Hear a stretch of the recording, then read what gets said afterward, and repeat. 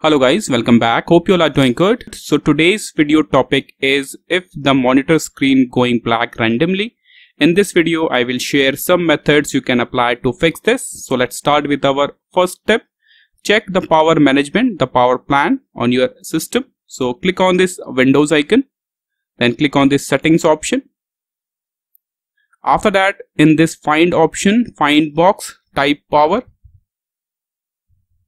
and you will get this option power and sleep settings. Click on it.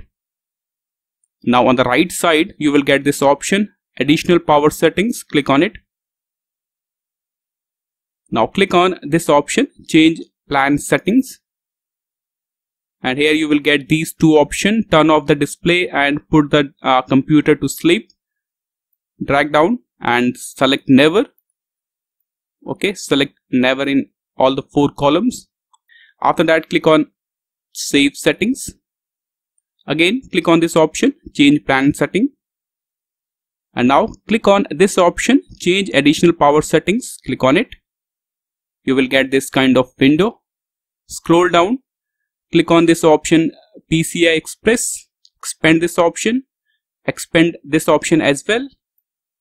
And now in on battery and plug-in, select off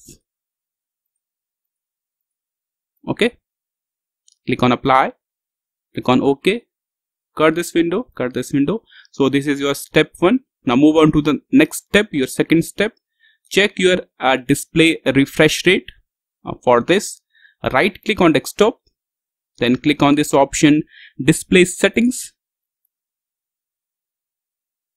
Scroll down and click on this option additional display settings and here you will get this option refresh rate. So if you have multiple option select the different refresh rate and check. This is your step 2 now move on to the final step. Update your display driver.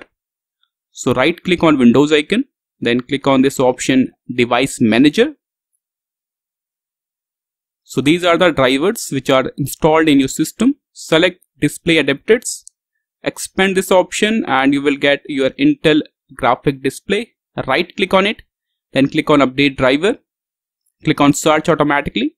So this will update your driver. And after that update your windows uh, operating system as well. So click on this option.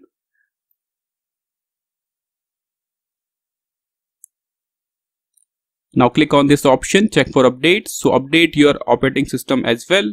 So these are the steps you can try to fix this. This is all for the video. Thank you